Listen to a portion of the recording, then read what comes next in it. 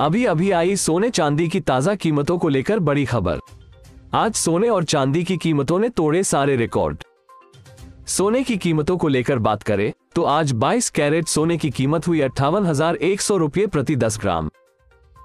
जबकि आज 24 कैरेट सोने की कीमत हुई तिरसठ हज़ार तीन सौ अस्सी रुपये प्रति 10 ग्राम।